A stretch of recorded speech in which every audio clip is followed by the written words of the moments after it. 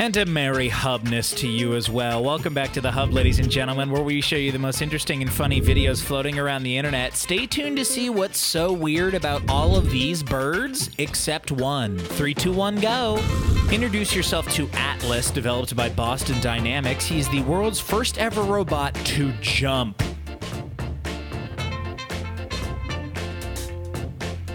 This opens up a whole new world in robot technology. As you can see, Boston Dynamics often just goes out into the woods, as this woman discovered, and tests their things out in public. Uh, a little scary to meet that on the hiking trail.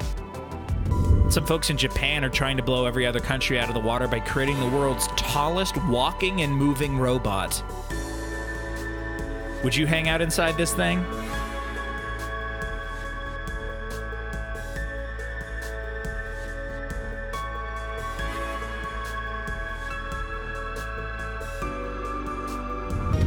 While Japan is going for size, the folks at MIT in Boston are going for the opposite of size. This is the world's smallest moving robot. It can move things, it can climb over obstacles, and it can even swim.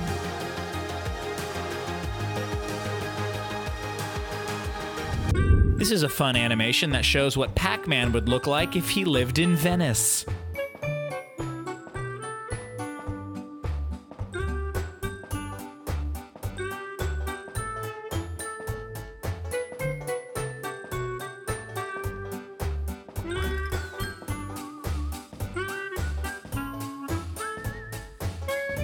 Some scientists were having trouble getting some good footage and studying the life of wild dogs, so they thought, hey, let's just build a fake wild dog and stick it out where they live to get some really up close shots. Pretty clever spy technology here.